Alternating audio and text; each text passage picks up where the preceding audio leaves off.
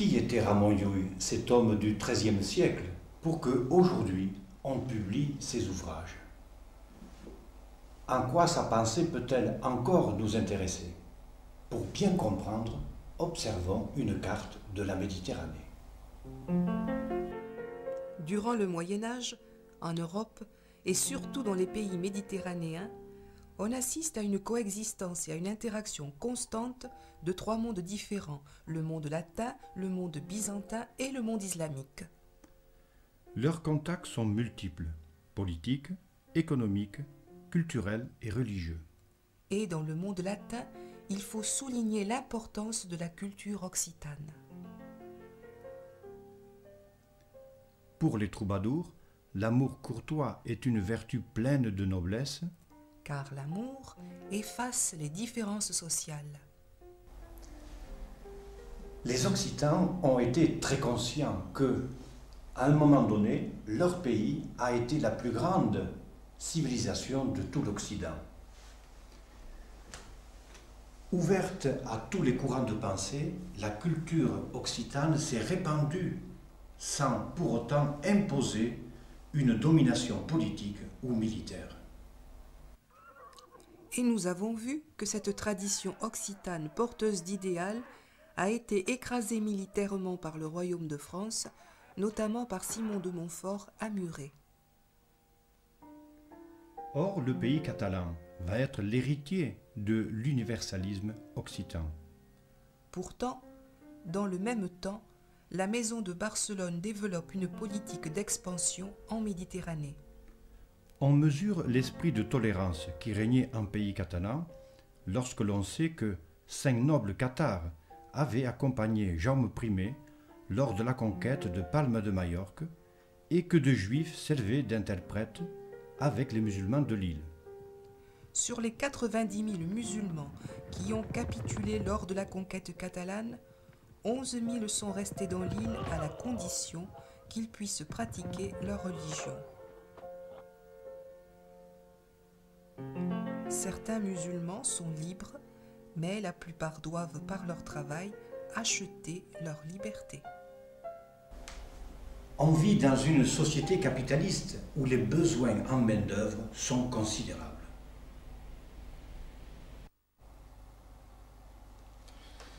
Tout le monde, ou presque, possède des captifs, aussi bien des religieux, comme les Templiers ou les Bénédictins, que des artisans. Les Mallorquins en ont souvent plusieurs dizaines par famille. C'est dans ce climat intellectuel, économique et spirituel que dans l'île de Majorque grandit Ramon Llull. Ramon Llull est né en 1232. C'est loin. Pourtant, sa vie nous est très bien connue, car à l'âge de 78 ans, il a dicté ses mémoires à un religieux parisien. Fils de noble qui avait accompagné Jaume Ier quatre ans auparavant, c'est-à-dire en 1228, lors de la conquête de l'île, Ramon Llull est élevé suivant sa condition de naissance. Il fait partie de la noblesse. Il est successivement page, précepteur de Jaume, le futur Jaume d'Os, roi de Majorque, dont nous avons déjà parlé, puis il deviendra son sénéchal. Or, en 1265, un événement prodigieux va bouleverser sa vie, comme il l'écrit lui-même. J'ai été fou du commencement de ma vie jusqu'à 30 ans passés. Ramon affirme que, en l'espace de quelques jours, Jésus crucifié lui est apparu cinq fois. Déu exigia de Ramon total del món i la seva entrada al servei del Christ. Dieu exigeait de Ramon Llull l'abandon total du monde et son entrée au service du Christ. Il se confesse avec douleur et contrition et il prend une triple décision à laquelle il restera fidèle toute sa vie. Premièrement, Il veut amener les musulmans à la foi catholique. deuxièmement, Il décide d'écrire un livre qui soit le meilleur du monde contre les erreurs des infidèles, c'est-à-dire les musulmans. troisièmement, Il veut demander au pape et aux rois chrétiens qu'ils fassent édifier des monastères où on étudiera l'arabe et les langues orientales dans le but de prêcher dans ces langues et de convertir les infidèles. un jour, Après avoir écouté un sermon, il abandonne ses habits élégants et il s'habille d'un drap grossier. C'est l'habit des franciscains qui ont choisi la pauvreté et la prédication itinérante. Ramoyouille embarque. Il quitte l'île de Majorque pour un pèlerinage à Rocamadour et à Saint-Jacques de Compostelle. De retour à Palme en 1266, Ramon Llull achète un esclave musulman qui, durant près de dix ans, va lui apprendre la langue arabe. C'est qu'il y a une grande différence, tant en technique qu'en psychologie, entre aborder une autre civilisation, c'est-à-dire l'islam, en sa propre langue ou à travers des traductions faites en latin.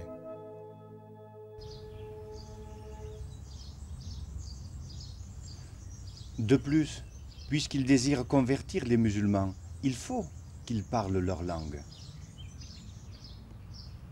الله هو الفقيه نتاع اللي كيفهموا يدوزهم الظلام عن الضوء Dieu est le patron de ceux qui croient. Il les fera passer des ténèbres à la lumière.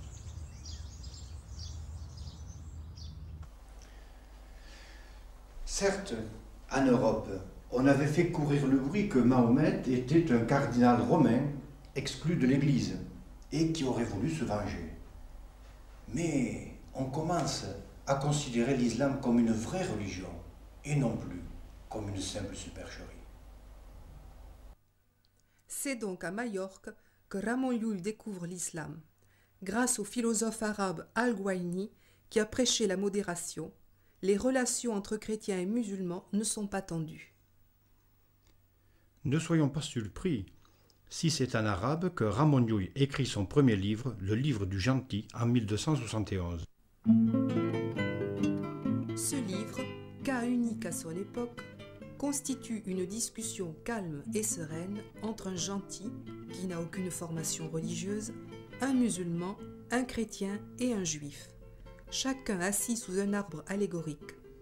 Ici, la sagesse à cheval au bord d'un ruisseau. Ramon Llull tente l'unification de la foi commune des trois sages, tout en révélant Dieu aux gentils.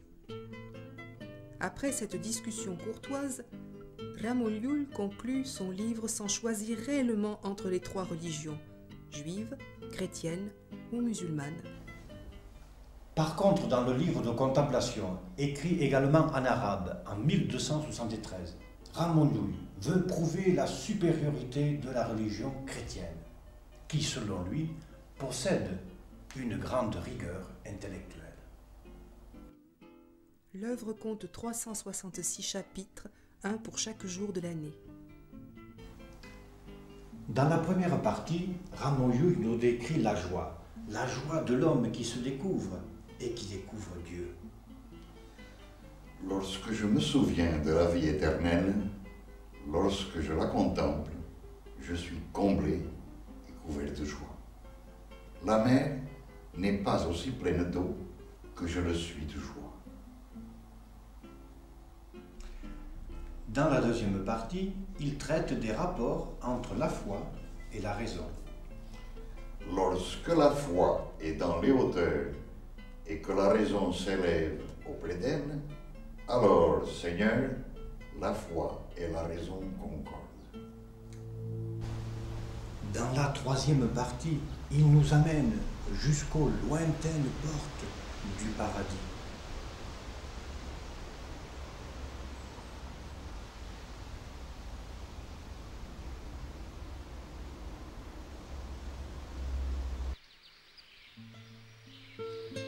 C'est un palais très noble, admirablement construit et orné de très belles bâtisses et de beaux arbres, chargé de fleurs et de fruits, très agréables à voir. Dans la quatrième partie, il montre que la contemplation de Dieu est l'œuvre de l'âme éclairée, éveillée, résonnante et libre. Il n'a rien de commun avec les pleurnicheries ou les superstitions. La porte du paradis est gardée par une reine qui tient une épée et un livre. Pour entrer dans le paradis, chaque individu doit répondre aux questions du livre. C'est un examen difficile qui exige un bon fonctionnement de toutes les facultés intellectuelles. En cas de réussite, la reine ouvre le passage, on entre dans le paradis qui apparaît très différent du monde terrestre. Les plantes se font plus grandes, meilleures et plus belles dans la bonne terre que dans la mauvaise. De la même manière, par la vertu du palais, la mémoire, l'entendement et la volonté peuvent mémorer, comprendre et aimer davantage, mieux et plus véritablement dans le palais que dehors.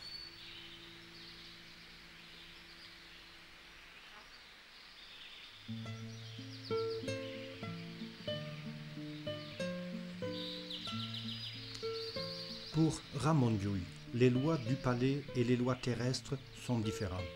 C'est-à-dire que le monde invisible et le monde visible n'obéissent pas aux mêmes lois. Aucune œuvre connue contemporaine à Ramon Llull ne peut être comparée avec le livre de contemplation, ni pour l'esprit, ni pour la forme. L'œuvre, ici un manuscrit, acquiert d'emblée un niveau d'élaboration jamais atteint.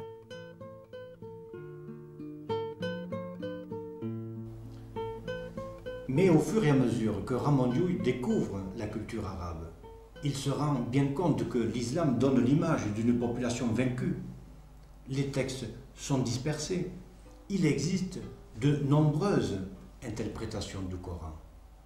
Bref, l'univers de l'islam est figé, éclaté, privé d'assises politiques.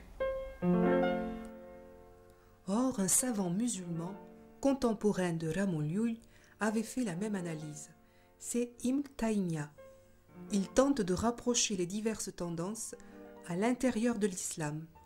Mais on imagine les difficultés. De leur côté, les Catalans s'écartent de leur héritage occitan, qui portait l'universalisme, et s'élancent en conquérant en Méditerranée, aux Baléares, à Valencia et bientôt en Sicile. Dans ces conditions, comment Ramon Llull va-t-il trouver l'inspiration? Un jour, il décide de gravir le mont Randa pour s'isoler du monde. Il tombe en prière et en contemplation. Quand au huitième jour, une illumination soudaine éclaire son esprit. Alors il dévale le mont Randa, s'installe au monastère de Sainte Marie de la Real, à Palme, et suivant ses propres mots, il écrit Sans effort, un beau livre contre les infidèles. C'est la première version de son œuvre, Le Grand Art. Ramon Llull a 40 ans. Voilà pourquoi on l'appellera le docteur illuminé. Alors, malgré l'énorme difficulté, tentons de résumer le grand art, ou du moins de découvrir son fonctionnement. Précisons que Ramon Llull part de bases religieuses communes au christianisme et à l'islam que les musulmans ne peuvent rejeter. L'existence de Dieu, sa puissance créatrice. Cinq figures viennent illustrer le texte. La première figure A est celle qui commande toutes les autres. Elle est le symbole de l'être suprême, car A, dans la science lullienne, signifie Dieu.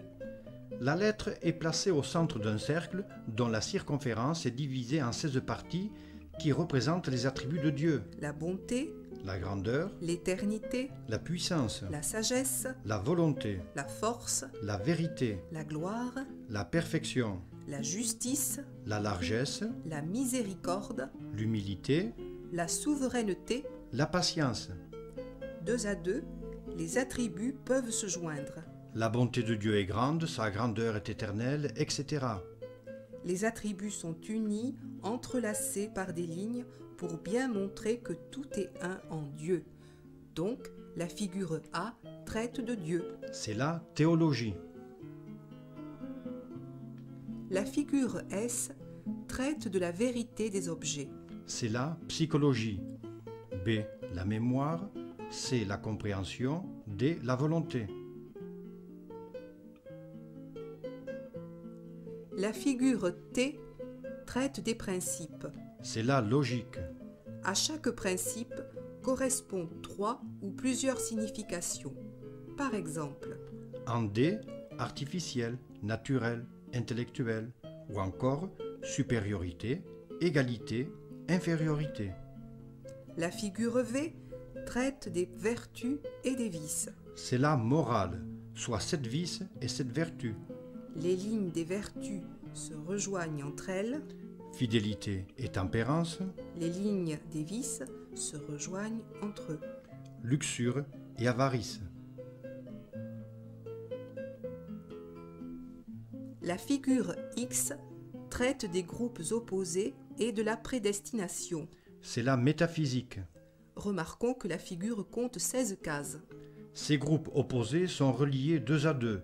I, la science, R, l'ignorance, B, le savoir, K, la justice, C, la prédestination, L, le libre arbitre.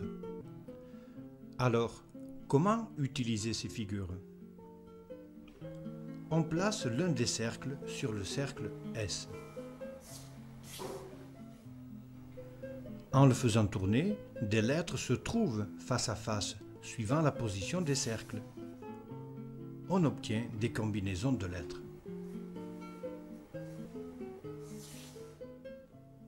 Ainsi, on établit des tables composées de lettres regroupées dans des cases.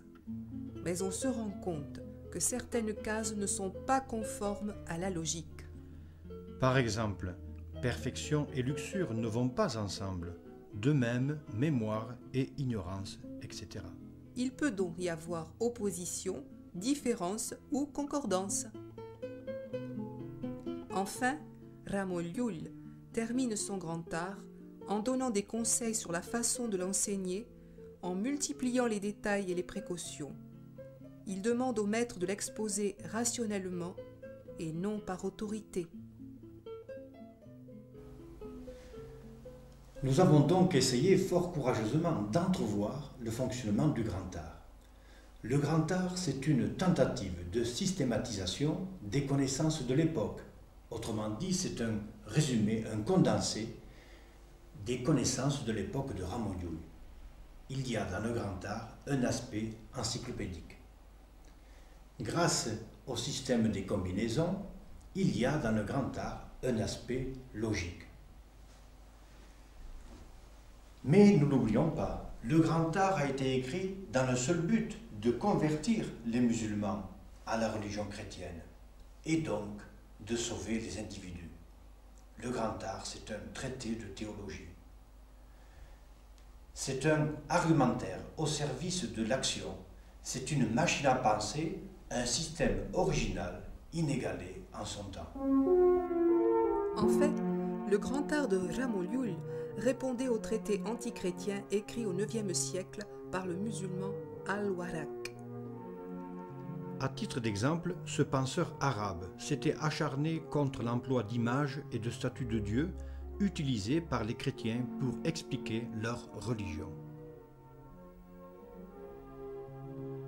Au contraire, la mosquée ne contient aucune statue ni aucune figure de Dieu.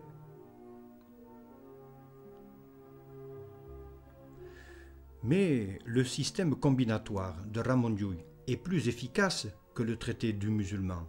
Les mauvaises combinaisons de lettres sont écartées, il ne reste que les bonnes solutions. Aujourd'hui, nous dirions que Ramon Llull est positif. C'est un précurseur. En cette année 1276, qui verra Jaume devenir le premier roi de Majorque, Ramon Llull se trouve à Montpellier. Là, des théologiens prennent connaissance du grand art. Les professeurs sont enthousiasmés par cette œuvre.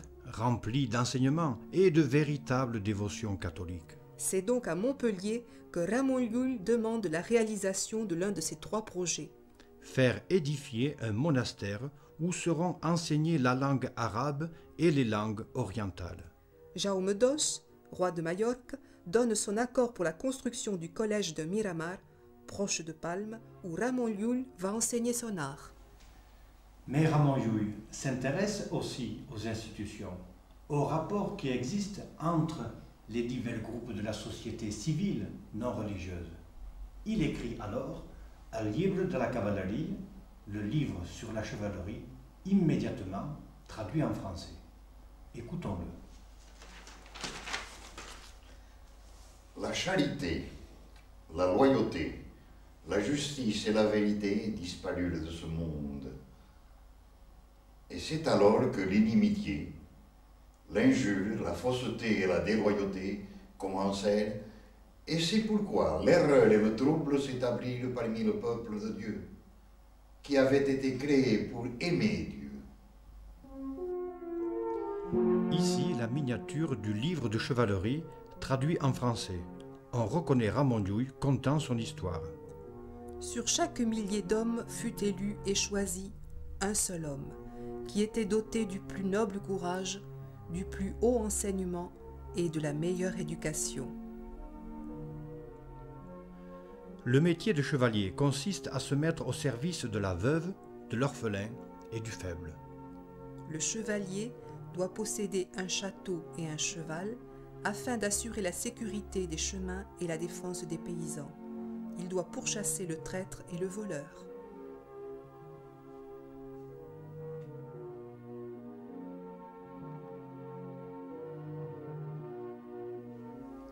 Voilà, dans ce premier chapitre, nous avons vu qui était Ramon Llull, sa formation, sa personnalité, ses premières œuvres. Vous l'avez remarqué, Ramon Llull est un autodidacte. C'est un esprit libre qui s'attaque à des problèmes très complexes. Il a donc des idées neuves et propose des solutions originales. Nous le constaterons dans le prochain chapitre que nous lui avons consacré.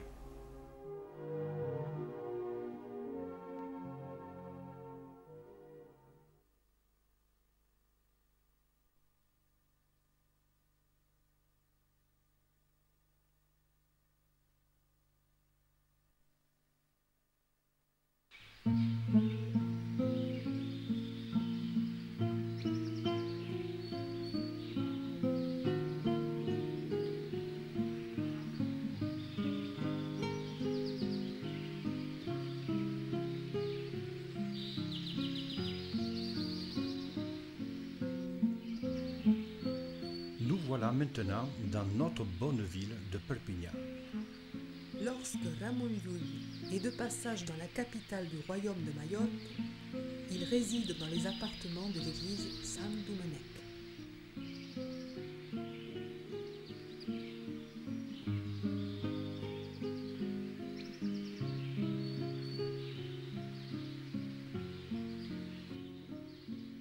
Ramon Llull, notre docteur illuminé, vit dans la joie. Dans la joie de celui qui se découvre et qui découvre Dieu. Et il voudrait communiquer son émerveillement au monde entier, à tous les hommes. Voilà pourquoi il s'adresse directement au peuple. Et voilà pourquoi il écrit en catalan. Et c'est la première fois en Europe que l'on abandonne le latin pour des ouvrages scientifiques ou philosophiques. Écoutons-le. Lorsque j'écris en langue vulgaire, en catalan, c'est pour que les hommes qui ne comprennent pas le latin puissent connaître ma doctrine et la science. C'est donc en catalan qu'il écrit un livre de pédagogie, Doctrine d'enfant. Pour Ramon Llull, l'éducation et la formation tiennent un rôle fondamental, car, dit-il, les enfants s'habituent au bon enseignement ou au mauvais enseignement. Il s'oppose ainsi aux pédagogues de son temps, qui voyaient dans l'enseignement un moyen autoritaire de façonner et de dompter la nature. Au contraire, Ramon Llull conseille de suivre la nature et de ne pas s'y opposer. La nature suit son cours et ne se laisse pas détourner.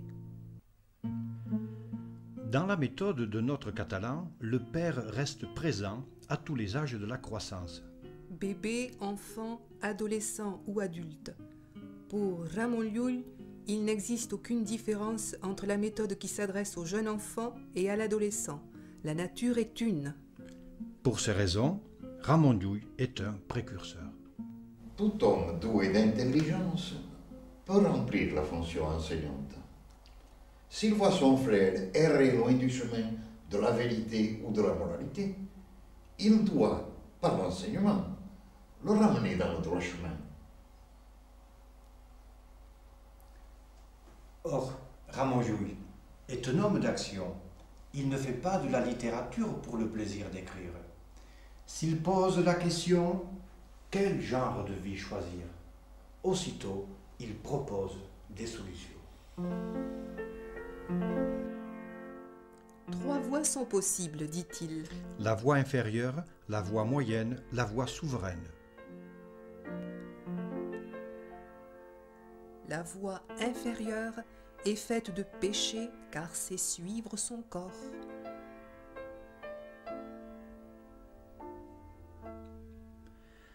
La voie moyenne est la vie active.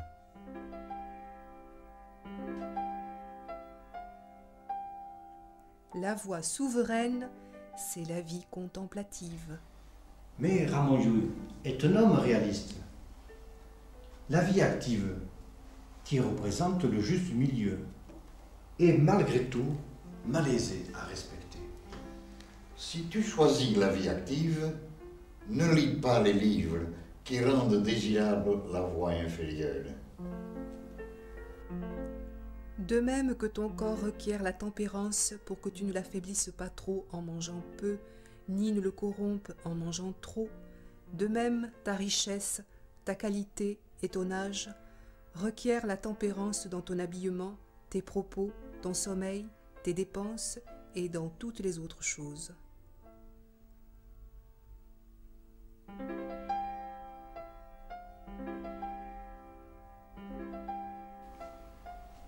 Ramon Jouy émet des opinions étonnantes et profondes. La géométrie et l'arithmétique risquent d'accaparer l'homme tout entier et de le détourner de ce qui est essentiel dans sa vie.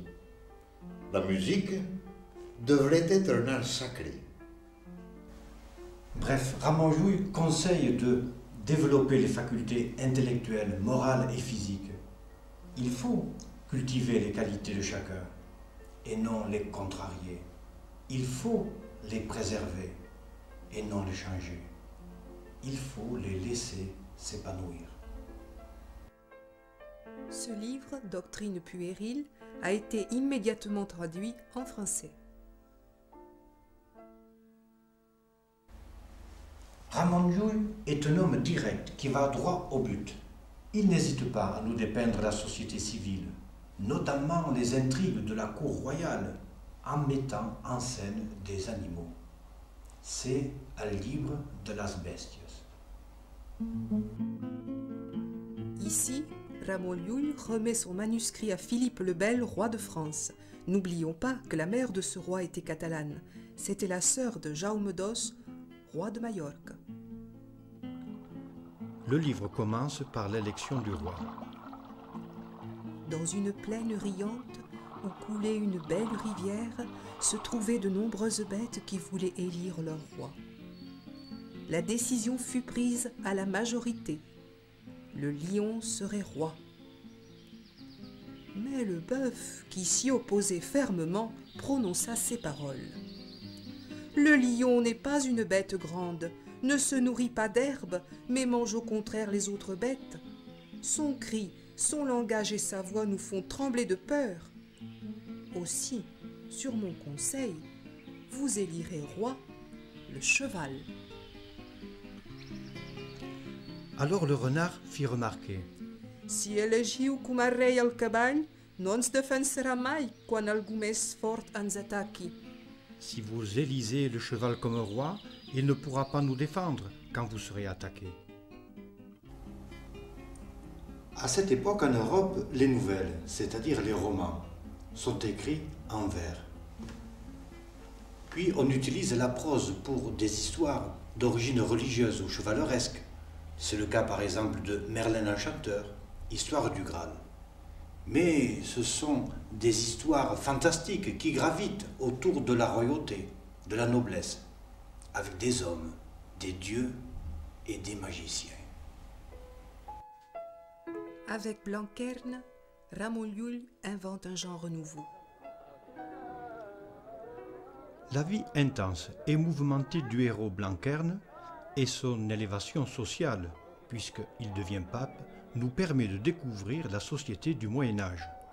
Le réalisme de Blanquerne s'oppose au fantastique de Merlin l'Enchanteur. Observateur et critique, Ramon Llull n'épargne personne.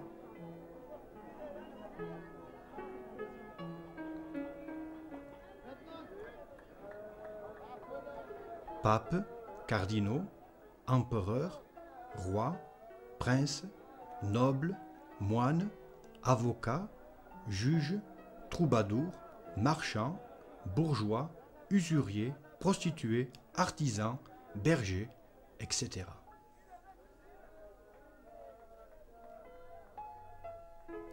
Pour Ramon Llull, ce catalan pétri d'humanité, tous les hommes manuels ou intellectuels sont égaux devant Dieu, soit par leur imagination, soit par leur intelligence. Donc, dans Blanquerne, Ramon Llull décrit la société. Mais en homme d'action, il indique les réformes. Par la bouche du héros de son roman, il bâtit un projet gigantesque de société et il en propose une complète rénovation. En voici le résumé. Pour étouffer les envies, les jalousies, tous les cardinaux auront la même rente qui leur sera versée intégralement par l'Église. Le pape doit répondre de ses actes devant le chapitre des cardinaux qui pourra, le cas échéant, lui infliger des peines. On établira des relations amicales avec les cours des pays non chrétiens pour pouvoir y envoyer des missionnaires. Et des savants de ces pays seront reçus par les pays chrétiens. Puis, il est surtout question de ce que nous appellerions aujourd'hui des échanges culturels entre les chrétiens et ceux qui adhèrent à d'autres religions. Le pape propose d'établir dans chaque ville un collège dans lequel on apprendra le latin à tout le monde, précisément pour faciliter demain la prédication et pour garantir davantage encore la bonne entente entre tous les pays.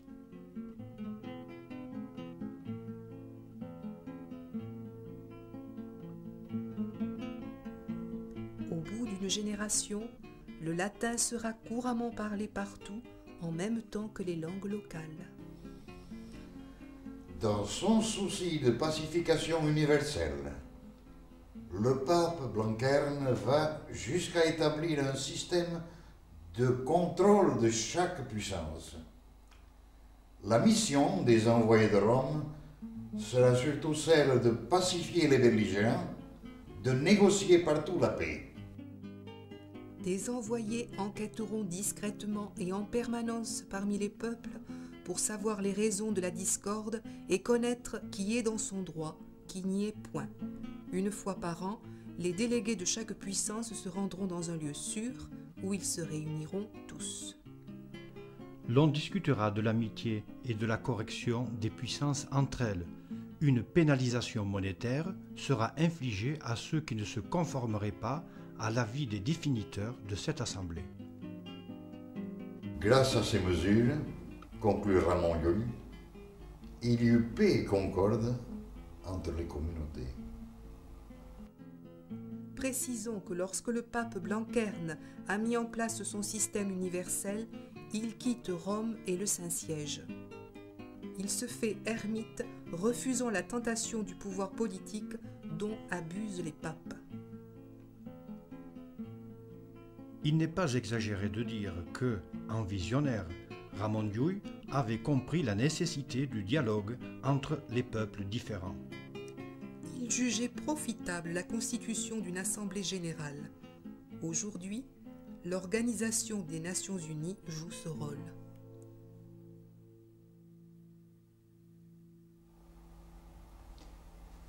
En 1287, Ramon est pris d'une véritable frénésie de voyager.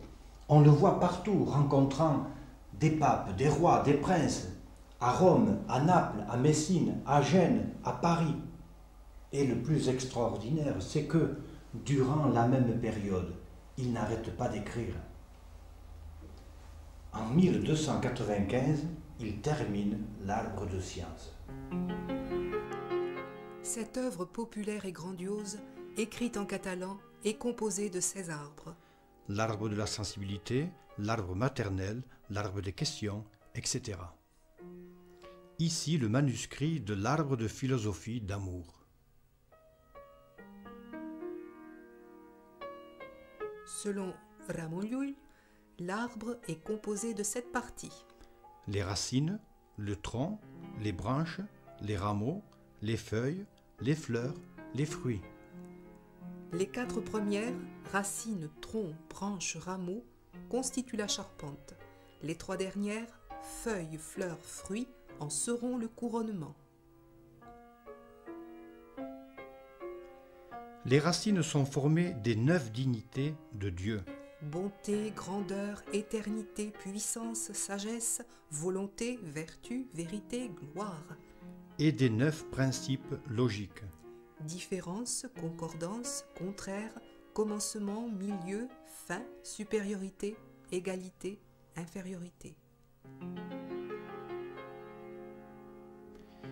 Ici, l'arbre de la morale imprimé en 1515.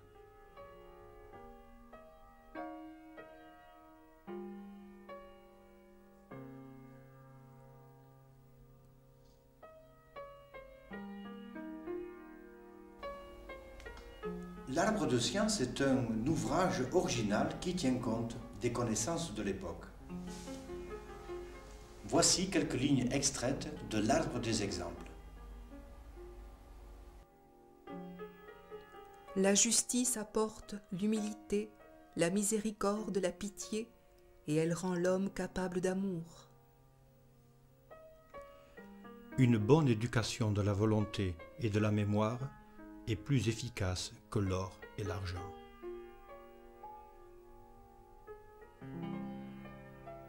Bien penser est plus utile à l'homme que bien sentir. Pour notre docteur illuminé, l'homme est capable de percevoir et de porter à terme la finalité pour laquelle il a été créé. Connaître, aimer et servir Dieu.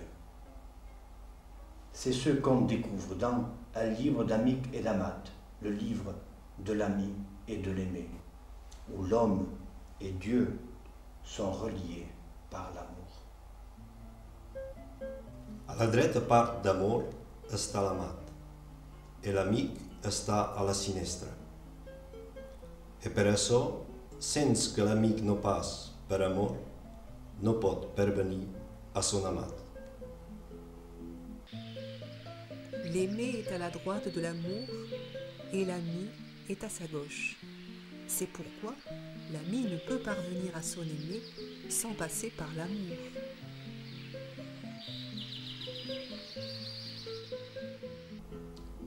Cantava l'ocell en l'auberger de l'amat.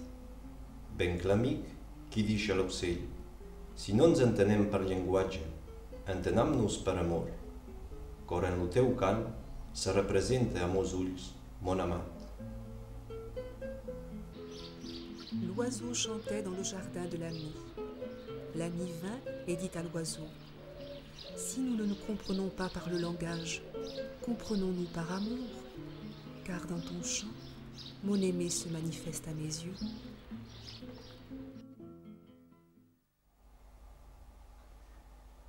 Nous ne dirons jamais assez combien Ramanjoul était à la fois un intellectuel et un homme d'action. En voici la preuve éclatante. Il décide d'aller lui-même en Afrique du Nord, en pays musulman, pour expérimenter la valeur réelle de son grand art. Il le traduit en langue arabe à Gênes en 1292. Arrivé à Tunis, il engage une controverse lumineuse. النبي الولد نتاع لاله فاطمة ولكن هو الولد نتاع الله اللي مات فوق الشهد Et les musulmans lui répondent. النبي زاد معجب بلا راجل ولكن زاد مع العزبة ام الدماء إنه النبي ماشي علم حقيقو رسول الله ما ماتش فوق الشهد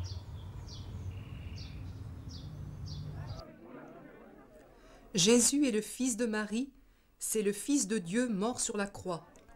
Et les musulmans répondent Oui, Jésus est né miraculeusement sans père d'une Vierge immaculée, mais Jésus n'est pas une divinité. Jésus est un serviteur de Dieu, il n'est pas mort sur la croix. Et Ramondjouille est emprisonné puis expulsé. Il vient de découvrir la difficulté qu'il y a à changer les croyances des gens.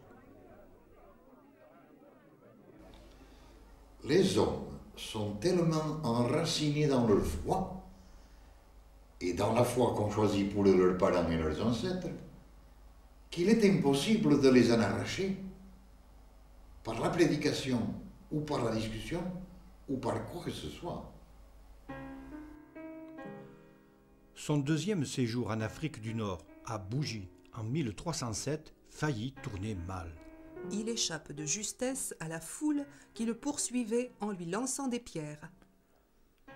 Enchaîné dans une prison inconfortable, il continue à polémiquer avec les savants musulmans à travers les barreaux.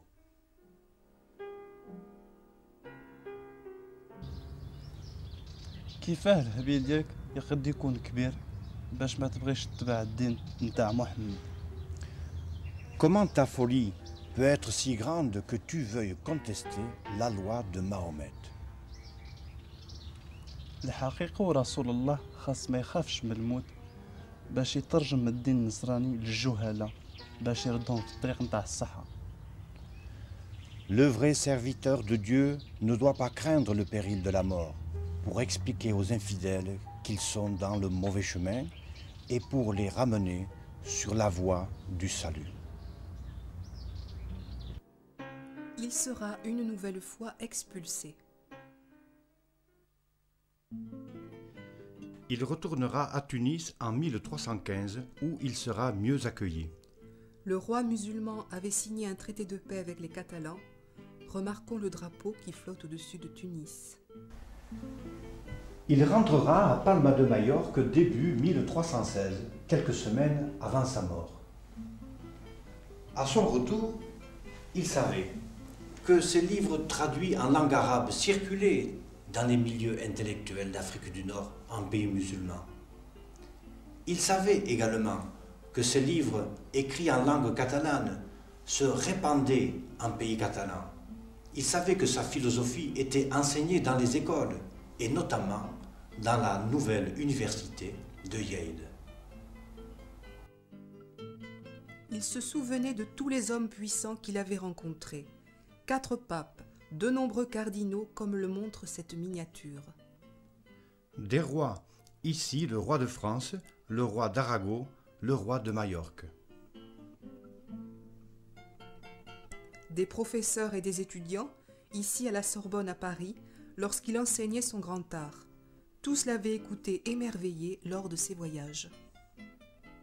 À Palma, à Barcelone, à Perpignan, Montpellier, Vienne, Lyon, Paris, Avignon, Gênes, Pise, Naples, Messine, Tunis, Bougie et dans la lointaine petite Arménie et Chypre. Quelque temps auparavant, Ramon Jouy avait établi son testament devant notaire. Il avait demandé que soient faites des traductions en latin et en catalan de ses œuvres et qu'il en soit envoyé un exemplaire à Paris, à Gênes et à Palma de Majorque. On a dénombré à ce jour 280 manuscrits. Malheureusement, ces textes arabes sont introuvables. L'œuvre de Ramon Llull, maître Ramon Català de Majorque, suivant ses propres paroles, peut se classer de la façon suivante. Philosophie, théologie, science, mystique, pédagogie, roman, poésie. Je souhaite que, au cours de notre entretien, j'aurais su expliquer la personnalité de Ramon Llull, ce qui n'est pas facile, et que j'aurais su exposer sa pensée.